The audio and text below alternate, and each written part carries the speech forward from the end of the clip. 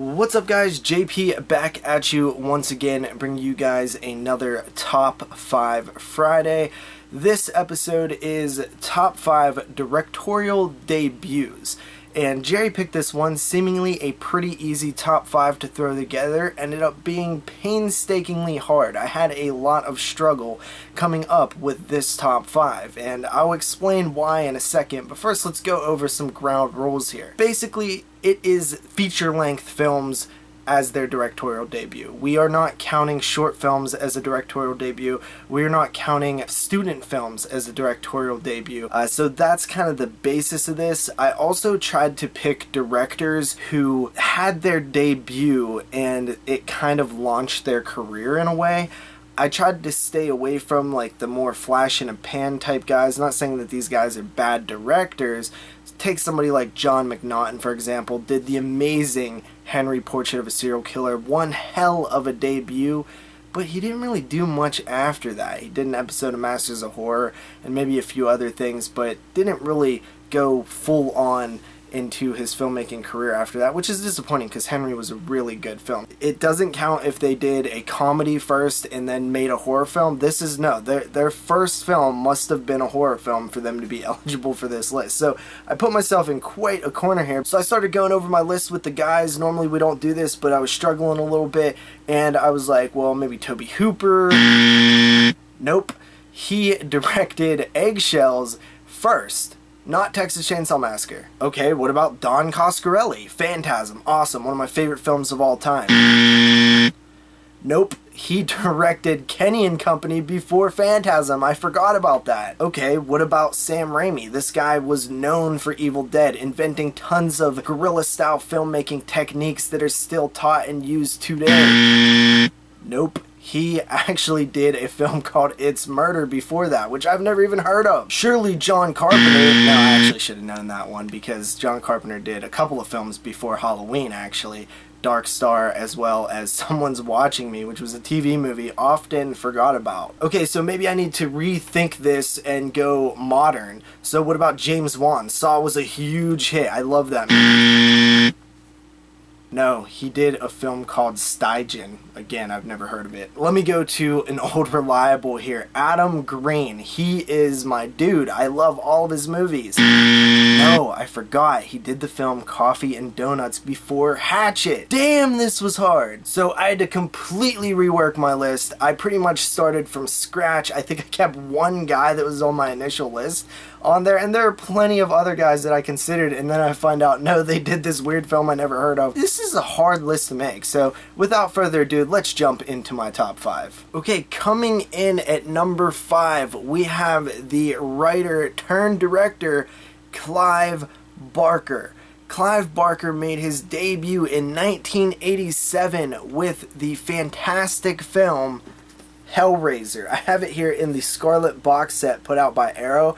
Funny enough, I just watched this film today because we, the 22 Shots of Moods and Horror podcast, are going to be covering the entire Hellraiser franchise in our next episode, which lands on Valentine's Day. So please, guys, check that out when it airs. Hellraiser is such a fantastic film. It really is a simple movie at its core. The Cenobites aren't even a huge part of it. Hell, Pinhead barely has any screen time but the film still succeeds on its pure horror, really. It's sort of sadomasochist undertones and all these different elements that are kind of unexplained, but you kind of get them at the same time it's a love story at its core, but it also has just an icky horror vibe. Clive Barker is a genius. He comes up with these masterful ideas and he truly creates worlds out of his story. I'm talking about the world that he creates involving hell in the Hellraiser films it's not the Christian hell that we know. It's something different and something scary. Now, Clive Barker's career didn't really get totally launched off of Hellraiser. He had a couple of follow-up films. He directed Nightbreed in 1990. Then five years later, he did Lord of Illusions, which I still haven't seen. Of course, he wrote Hellraiser 2 and Rawhead Rex. He produced a lot of things, has writing credits on a lot of different material out there. His directing career really never took off, but I thought his debut was really strong, so I included him on this list. Coming in at number four, we have the Italian Hitchcock, the master of horror, Dario Argento. Dario Argento made his directorial debut in the year 1970 with the first installment of his Animal trilogy. I'm talking about the Giallo, the bird with the crystal plumage. Now, Giallos are not directly horror, but they're definitely in the vein of horror.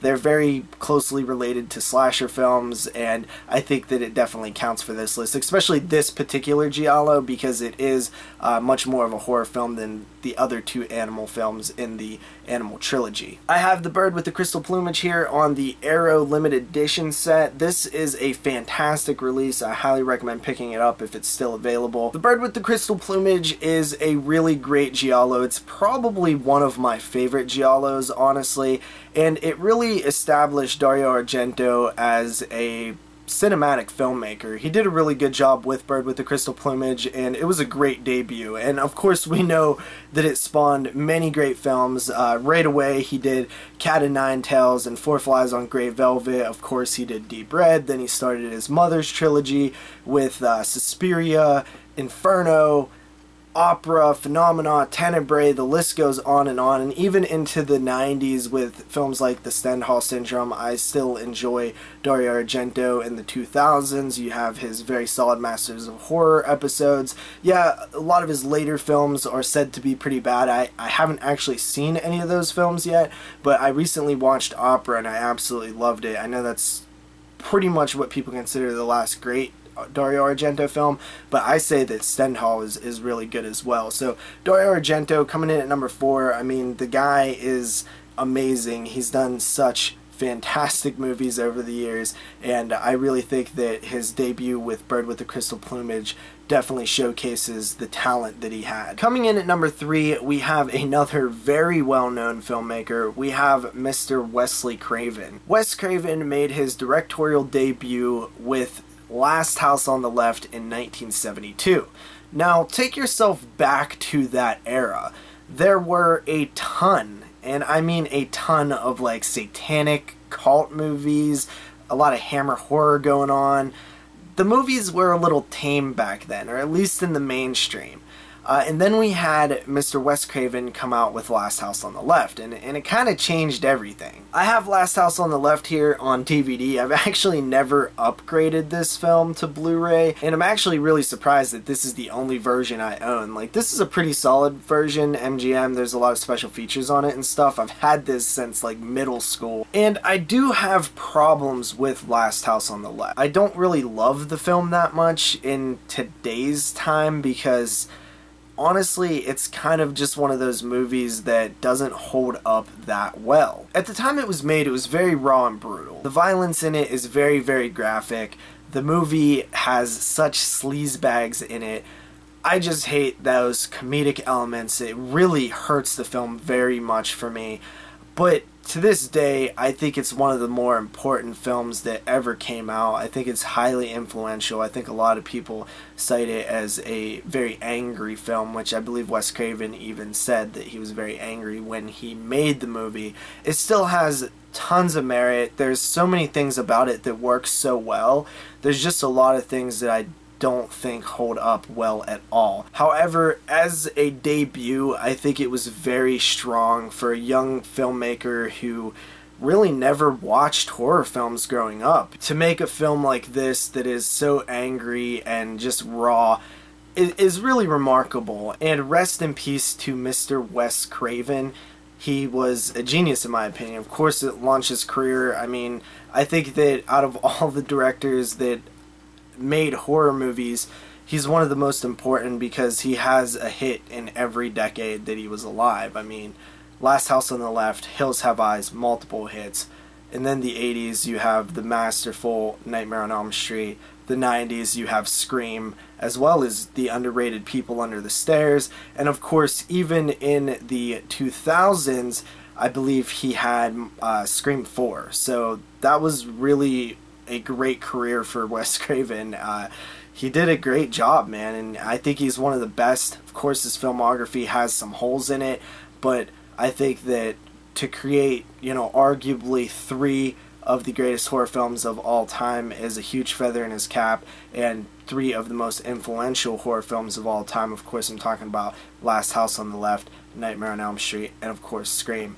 But with that said, uh, let's move on to our number two. Coming in at number two, we have the musician turned director, Mr. Rob Zombie. Rob Zombie made his directorial debut in the year 2003 with his film House of a Thousand Corpses. House of a Thousand Corpses is sort of a experimental getting his feet wet type of movie, but it still was very impactful. I have House of a Thousand Corpses here on Blu-ray. Uh, this is a good Blu-ray, and honestly, it's one of the best looking Blu-rays that came out this early. This was a very early Blu-ray, and, and it looks fantastic. House of a Thousand Corpses is not my favorite movie in the world. I do have issues with it, but I do acknowledge that it was a pretty amazing debut because what it did was establish this raw, gritty style that Rob Zombie is known for. You can look at a Rob Zombie film and know it's a Rob Zombie film. It just has amazing elements to it that punch you in the face, honestly. They they come right out of the screen and they punch you in the face. A lot of people don't like this about Rob Zombie. They don't like his style. They call him a one-trick pony. I personally love it. It's he's one of my favorite filmmakers ever and honestly, he did such an amazing job up until the movie 31, in which I actually didn't care for that much at all, that I thought he was going to be considered one of the greatest of all time until that point. And I know that there's some Rob Zombie haters out there that are about to dislike this video because I just said he could have been one of the greatest of all time. But just just relax. So Rob Zombie's House of a Thousand Corpses has so many cool elements to it it's very much reminiscent of something like the Texas Chainsaw Massacre, but definitely done in his own style. He pays homage in a lot of his films and things like that, and I, I personally enjoy that stuff. I know other people don't. It's always so controversial doing a Rob Zombie film on any list, I feel like I always need to defend my reasons why because Rob Zombie is such a polarizing figure in the horror community. He really is. Pol Rob Zombie and Eli Roth are like the two names you don't bring up. It's like politics and religion, right? But House of a Thousand Corpses launched Rob Zombie's career, and quickly after that, we got a follow up in 2006 with my favorite horror film of the decade it was released, The Devil's Rejects. Such an amazing movie. It is probably the best sequel ever made, or at least one of the best sequels ever made. Of course, after that, he got Halloween, which was very controversial, and there was a ton of hate. I personally love Halloween. And then, of course, H2, and then he went on to do Lords of Salem, which I thought was really good, uh, El Superbeasto, and of course, the last film he did, which was 31. Uh, so, not the greatest in the end for me, but I'm looking forward to his next film, which supposedly is going to be a sequel to The Devil's Rejects, so we will see. But I, I just think that he has just such a unique style. I, I just love his movies, honestly. And uh, yeah, that's Rob Zombie at number two. Coming in at number one, we have a filmmaker that made the list two weeks in a row, a film that made the list two weeks in a row. Of course, I'm talking about George A. Romero. Rest in peace to Mr. George A. Romero. I had a great time meeting him uh, a couple of years ago. He was a fantastic person. His wife was fantastic. It's one of my favorite memories that I'll hold with me forever. But George Romero came out in 1968, guns ablazing, with Night of the Living Dead. And this was one hell of a debut. Even though we just talked about Night of the Living Dead last week, I freaking couldn't not put it on this list because how important of a debut this was. This debut literally birthed a entire genre that is one of the most popular genres of all time in zombies. Night of the Living Dead is an amazing, masterful work of art. I absolutely love it. It holds up well. It's still scary. It's still creepy. It still has all these amazing moments and social commentary and yada yada yada. I could talk about it forever. But it also launched George Romero's career, which almost ended because of the copyright issue with Night of the Living Dead. It didn't give him any money. It didn't give him any profit whatsoever. They lost everything on that film, and the public now owns that film. Uh, but he went on to make great movies. After that, of course, Martin, which is one of his favorite movies. I believe he told me that it was his favorite movie that he's ever done. Uh, he had his hand in so many other films, worked with Stephen King and Creepshow. Of course, his Dead trilogy with Day of the Dead and Dawn of the Dead. Of course, his second Dead trilogy with Land of the Dead, Survival of the Dead, and Diary of the Dead. I said all those out of order. But anyway, um, you know, he, he worked well uh, into his late career, and honestly, like, as a filmmaker, a lot of his films got, you know, worse and progressively worse from these masterful movies that he, that he first did.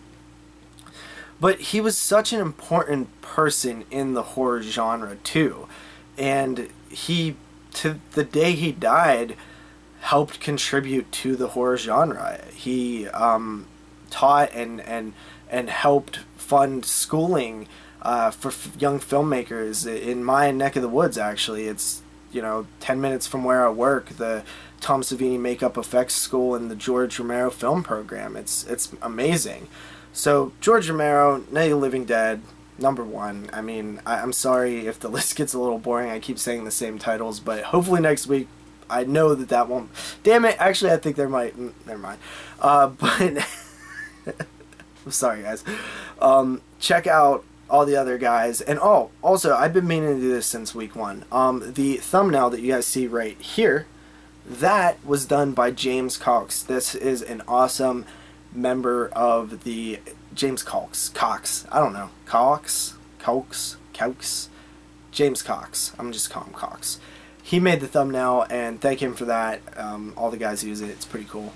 I think it's really good. So, see you guys next week with another Top 5 Friday. And these are going to get shorter, by the way. I take way too much time editing these damn things. Peace out.